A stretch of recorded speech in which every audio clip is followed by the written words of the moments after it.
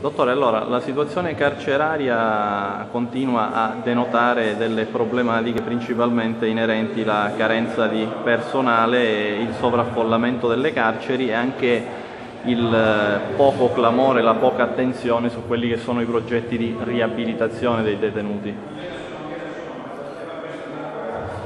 Sì, è una situazione critica, una situazione che va affrontata a più livelli, che richiede certamente uno sforzo da parte dell'amministrazione penitenziaria di razionalizzazione di alcune, alcuni servizi, ma soprattutto dire, occorre che eh, i soggetti esterni, le altre realtà istituzionali, eh, la società civile si coinvolga in un mondo che invece viene spesso dire, negletto, denegato, emarginato.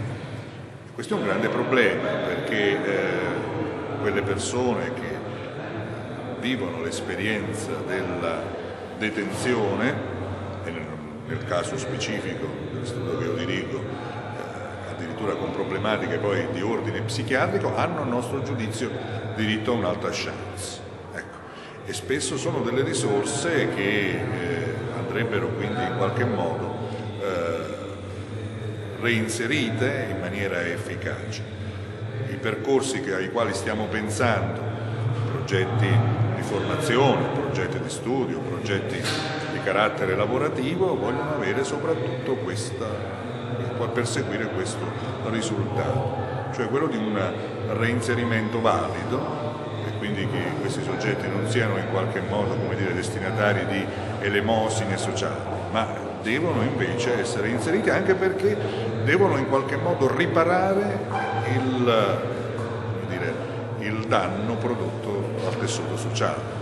Lei diceva nel corso del convegno una cosa molto importante e significativa. Eh, io ogni giorno, comunque quando mi trovo di fronte a questi detenuti, mi pongo l'interrogativo di quale sia il senso della loro vita.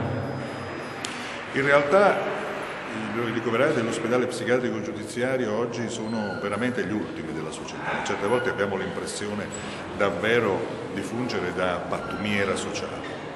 Sono delle derive umane, de, rifiutati da tutti, malati, gravemente malati, eh, ai quali occorre evidentemente, se è di un paese civile quello di cui stiamo parlando e quello nel quale dovremmo vivere, dovremmo dire, consentire di avere delle, eh, delle, opportunità di cura, di, eh, di recupero, di riabilitazione eh, efficaci.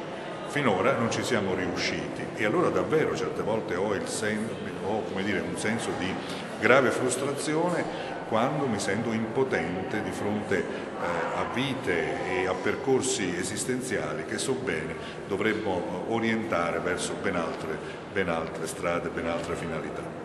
A suo avviso, in conclusione, di fronte a queste difficoltà perduranti e difficoltà permanenti, prevale un senso di pessimismo o c'è comunque l'ottimismo? Guardi, se io non fossi ottimista e non avessi ancora passione nelle cose che faccio, me ne sarei già andato da tempo. La realtà è estremamente complessa, molto difficile, viviamo in una fase della storia di questo Paese a tutti i livelli assai complessa. Il mondo penitenziario riflette le problematiche generali.